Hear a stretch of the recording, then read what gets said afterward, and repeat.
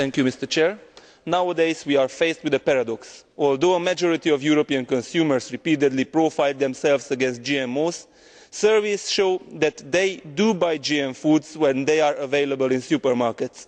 Many consumers are just not aware that GM food is sold in Europe, or simply fall into the trap of illegible labels and end up not knowing what they buy.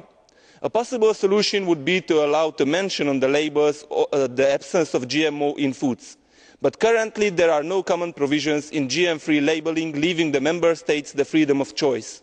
This leads to confusion of consumers and distortion of the internal market, as while some countries have already introduced non GM labelling provisions, others refuse to allow this kind of information to be given.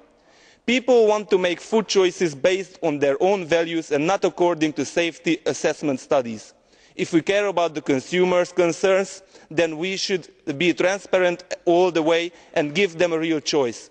Therefore I call on the Commission to provide a legal framework for voluntary GM free labelling at European level.